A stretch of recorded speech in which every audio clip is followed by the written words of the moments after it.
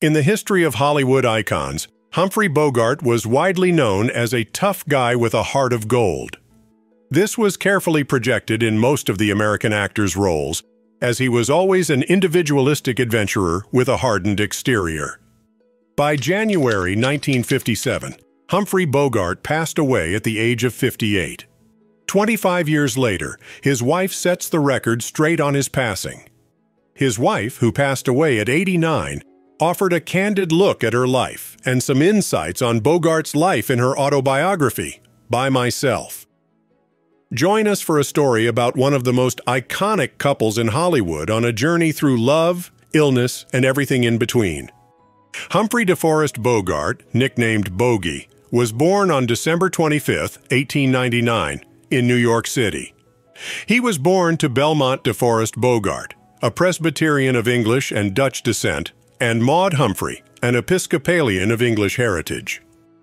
His father worked as a cardiopulmonary surgeon, while his mother was a commercial illustrator who once used a drawing of baby Humphrey in an advertising campaign for Mellin's baby food.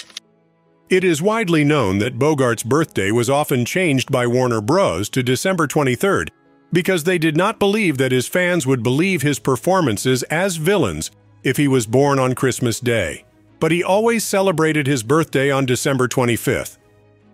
Bogart grew up with his two younger sisters, Frances and Catherine Elizabeth, in a formal household with very little physical affection. He put on plays with groups of friends at the lake. While in boarding school, he failed and was expelled for throwing a member of the faculty into a pond, smoking, drinking, poor academic performance, and inappropriate comments made to the staff. With no career options before him, Bogart enlisted in the United States Navy. He tried to do the same during World War II, but was rejected. Later on, he returned home. His father was in poor health, and most of the family's wealth was lost through bad investments. And this is when he was pulled into the world of theater and acting. Bogart started his career with minor parts in stage plays.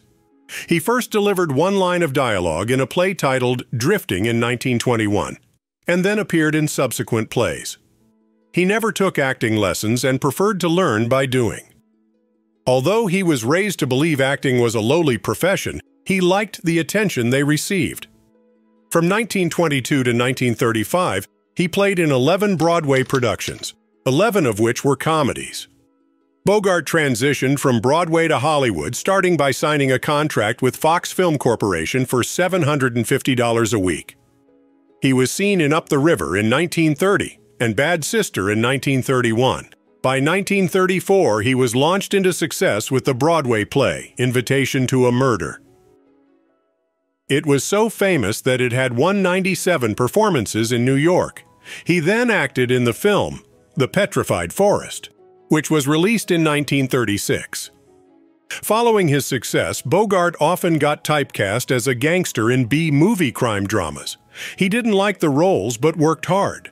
This led to a persona, as he was often wounded, cynical, charming, stoical, vulnerable, and a self-mocking loner with a code of honor.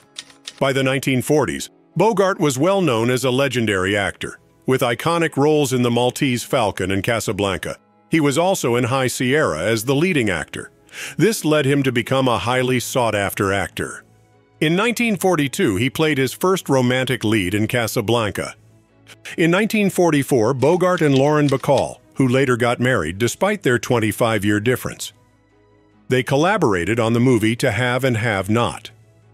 A few months after this, the couple was called again for another film, The Big Sleep. By 1947, they acted in Dark Passage together. By 1948, he acted in The Treasure of the Sierra Madre, along with John Huston. Then he created his film company called Santana Productions, while still signed with Warner's Brothers. He made a film per year with the company, and later dissolved the contract in 1953.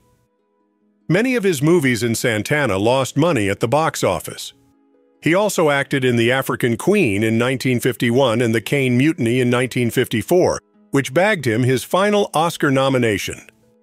In 1954, he played Sabrina with Audrey Hepburn, and in the same year, he acted in The Barefoot Contessa, which was filmed in Rome. He was known for being generous with actors who had personal problems, helping them on set and supporting them for roles. Bogart's final role was an American boxing film noir in 1956 titled The Harder They Fall. He has won 13 awards in his life, including the Academy Awards, Oscar Awards, and BAFTA Film Awards. In 1999, the American Film Institute named him the greatest male star of all time.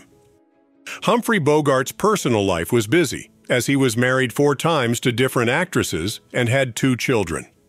He was known to quote Alexander Pope, Plato, Ralph Waldo Emerson, and Shakespeare. Bogart was often seen as being quick to anger and had complex emotions. He was also a drinker and got into fistfights. In 1926, he married Helen Menken, and they got divorced in 1927. By 1928, he married Mary Phillips, and by 1938, he married Mayo Methot. But his most iconic marriage was with Bacall. When he met Lauren Bacall in 1945, he fell in love with her, and they got married. They remained together until he passed in 1957. Bogart had two children with Bacall, Stephen and Leslie. In 1956, Bogart realized he had esophageal cancer as he was a heavy smoker and drinker. The disease was so serious that he had to remove his esophagus, two lymph nodes, and a rib, but the surgery was unsuccessful. The cancer became worse, and by January 1957, he passed away. More than 20 years after Bogart had passed away, his last wife, Lauren Bacall, published a memoir titled By Myself. It was there that she revealed insights into her relationship with Humphrey Bogart, including the truth about who he really was and hidden facts about his death. Bogart was known by the public and the industry as a tough guy, but Bacall reflects on how humane he really was. She described him as shy, gentle, open, and vulnerable, easily confiding in her about three failed marriages. Even during their small wedding, he cried in an outburst of emotion. By 1956, she noticed that her husband's cough sounded worse than usual. His throat also burned when he drank juice. She forced him to go to the hospital, where a test revealed an inflamed esophagus.